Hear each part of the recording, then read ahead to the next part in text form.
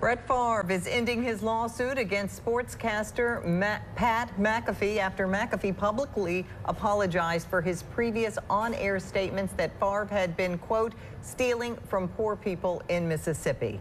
Now, Favre and McAfee both announced the settlement today. He apologized during the Pat McAfee show on YouTube and said he did not have to make a payment to Favre to settle the suit. Favre said on Twitter that McAfee's earlier comments were an attempt to be funny and were not based on personal knowledge.